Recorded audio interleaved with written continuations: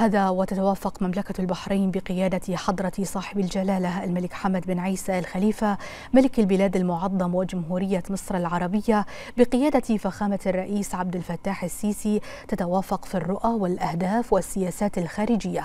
وشكلت لقاءات قائدي البلدين الشقيقين والمسؤولين تأكيدا على مدى الانسجام في مواجهة التحديات المشتركة وما يمس أمن وسيادة مملكة البحرين وجمهورية مصر العربية الشقيقة.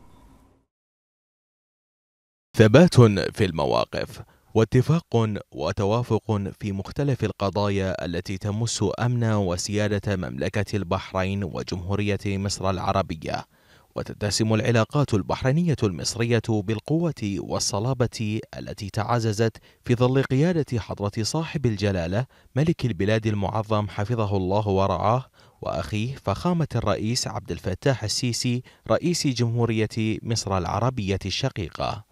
وانطلاقا من دور البلدين الشقيقين المحوري في المنطقة جاءت لقاءات عاهل البلاد المعظم وفخامة الرئيس المصري مؤكدة على توافق القيادتين السياسيتين في البلدين الشقيقين حيث لم تخلو اللقاءات من التأكيد على التوافق تجاه كل القضايا المشتركة التي تمس أمن وسيادة البلدين كملف سد النهضة ومكافحة الإرهاب على سبيل المثال لا الحصر.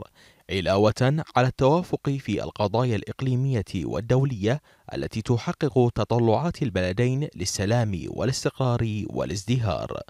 وشكلت اللقاءات على مستوى وزراء الخارجية تأكيدا على مدى التوافق بين البلدين حيث دائما ما يتم تدارس مجالات تعزيز التعاون والتنسيق المشترك على المستوى السياسي والدبلوماسي وفي كافة المحافل الدولية وأوجه تعزيز التعاون العربي المشترك في ظل ما تشهده المنطقة من تطورات وصراعات تهدد الأمن والاستقرار الإقليمي.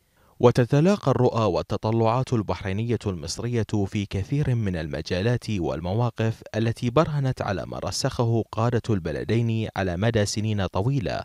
فالبلدان كما قال جلالة الملك المعظم حفظه الله ورعاه هما مهد لحضارتين عريقتين نجحتا في تشكيل وتقديم نموذج متميز في الاعتدال والانفتاح والتحضر للعالم أجمع.